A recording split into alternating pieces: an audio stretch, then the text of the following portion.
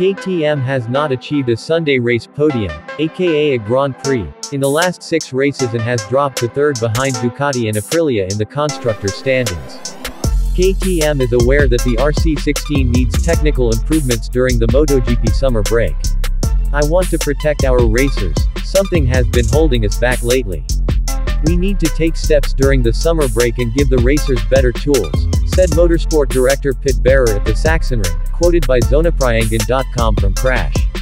The manufacturer's situation was made clear by Jack Miller's race time in the 2024 German MotoGP, for 13th which was one second slower than he achieved over the same 30-lap distance in 2023 when finishing 5th. By comparison, Ducati's Francesco Bagnaia won the race 12 seconds faster than when he dueled with Jorge Martin the previous year.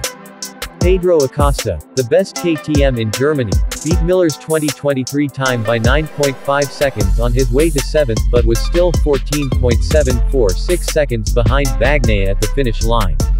We need to grow further, it's as simple as that, said Miller, whose seat at the factory alongside Brad Binder will be taken by Acosta in 2025. In terms of the basics, we are still using the same as at Misano last year.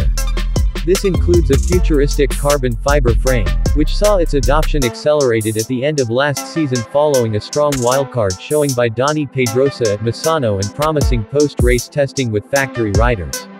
We're still on the first model of the carbon fiber frame, we haven't touched anything there yet, Miller said. So I think something needs to be done there, or even the swing arm length, we're maxed out at the rear of the bike.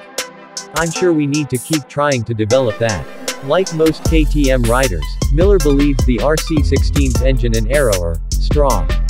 We needed a little more grip, a little more turning, Miller explained. The speed is good.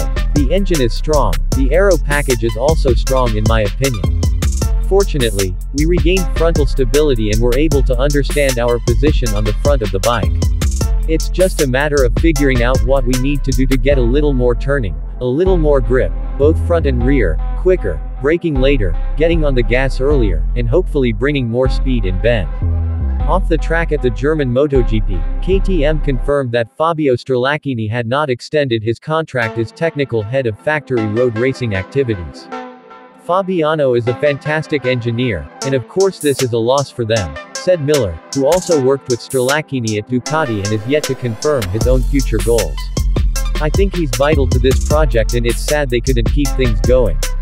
But, it's better for me if I go somewhere else, so that he doesn't work against me. KTM starts its 2023 summer break with lead rider Binder in 4th place in the rider standings, with 114 points from 8 rounds. This year's summer break started with Acosta as the top KTM, in 6th place, with 110 points from 9 rounds. Binder is one place behind with 108 points. Bagnaia has plus 2 8 points compared to the same time last season. Ducati plus 30 points in the constructors standings with Aprilia plus 22 points and KTM plus 12 points. Despite the concessions, Japanese manufacturers collected fewer points than last year. Yamaha minus 34 points and Honda now without Marc Marquez minus 64 points.